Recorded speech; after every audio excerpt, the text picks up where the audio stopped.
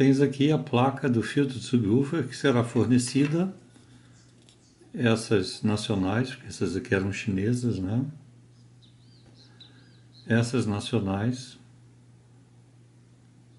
gratuitamente da forma que informei os senhores, para que os senhores mesmo possam montar. Vocês têm aí o integrado, eu não estou conseguindo enxergar o número dele. É... Deixa eu ver.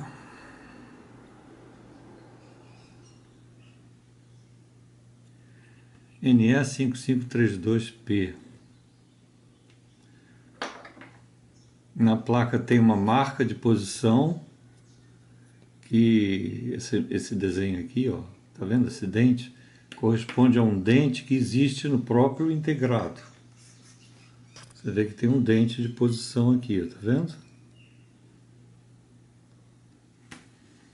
Tem que colocar esse jumper e soldar um integrado.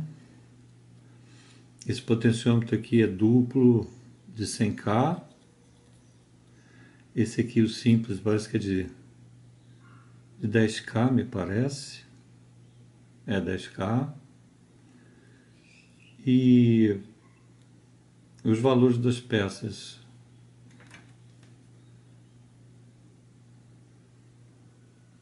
Dez K, dez K, dez K.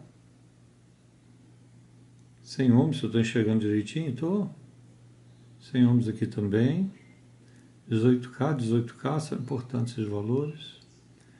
E cada capacitor desse aqui, me parece que eles são de 10 nano cada um deles. Então nessa linha de baixo você, em qualquer um desses, porque está tudo em paralelo, em qualquer um desses locais você pode colocar o de 10 nano. Pode botar dois juntos aqui ou colocar um de 20 nano único aqui, 10 nano nessa linha de cima. Esses condensadores aqui podem ser de 22 microfarads, 33 microfarads, 47 microfarads ou 100 microfarads com isolamento de pelo menos 25 volts.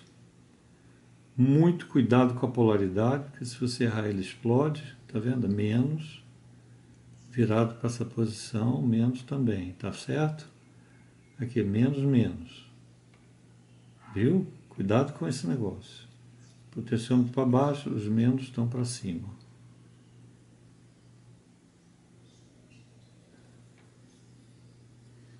Nada em especial aqui embaixo. As instruções de como instalar a fiação, tem inúmeros vídeos publicados mostrando isso para vocês.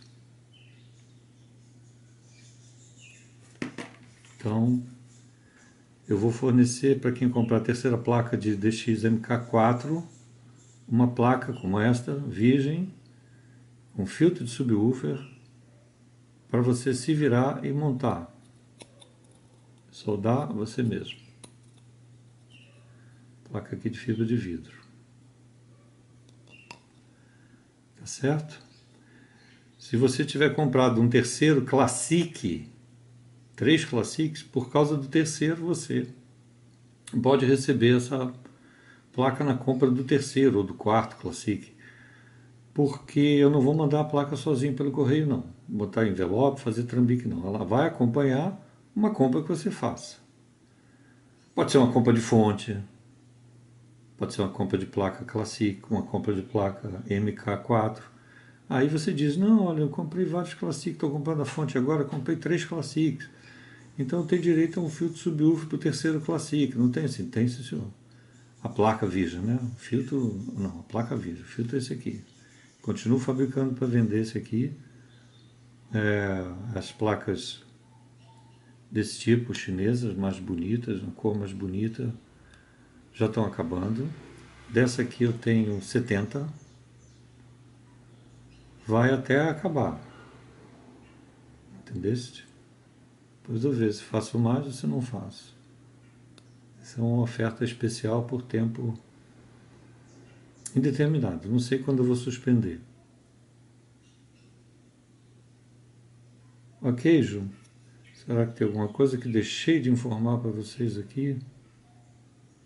Bom, no, nos vídeos que diz sobre instalação, fala sobre esse, uns 15 menos 15. Você pode usar resistor para dar queda de tensão aqui, para pegar a tensão de sua fonte. Aqui a saída que pode alimentar um ou mais placas, até duas placas de amplificadores. Aqui entra a entrada esquerda e direita, né? G é grão da terra, o mais é o vivo. E você ah, essas ligações elas não atrapalham a separação estereofônica. Bom, você também vai receber gratuitamente para cada placa MK4 que você comprar a plaquinha de ela vem assim em dois clipe, né? Mas você pode separá-la para fazer três. Aqui você tem que lixar com a lixa 220. Essa lixa vermelha de massa de parede. Tá certo? Ela é vista assim, com os, as conexões para cima. E aqui você tem, para o caso dos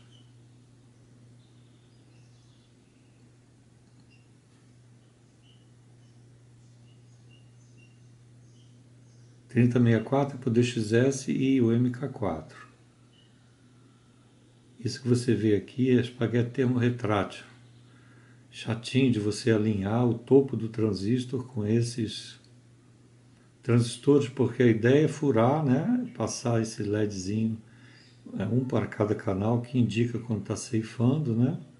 e passar uma gotinha de cola aqui em cima desses transistores para fixar no painel, por trás assim do painel, por dentro do equipamento. O LEDzinho passa pelo buraco, você só vê o LEDzinho, entendeu? Ah, posso usar o LED vermelho? Pode, se quiser, pode. Pode, por que não? Pode usar. Os valores estão aqui, 10K, esse aqui de cima. Tá? Aqui está escrito R2 aqui na, na placa.